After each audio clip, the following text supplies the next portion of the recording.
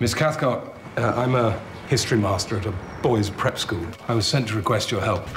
You are a ghost hunter as well as an author. Well, you can't hunt what doesn't exist. Oh, well, that's just it. I'm here about another death. A pupil, three weeks ago. His name was Walter. Walter Portman.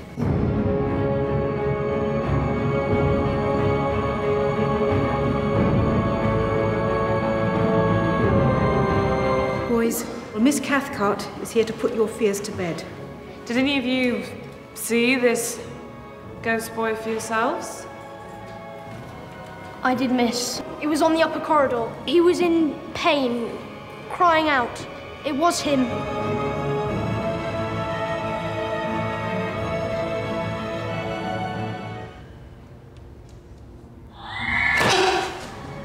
These boys aren't worried about bumps in the night. They are frightened to death.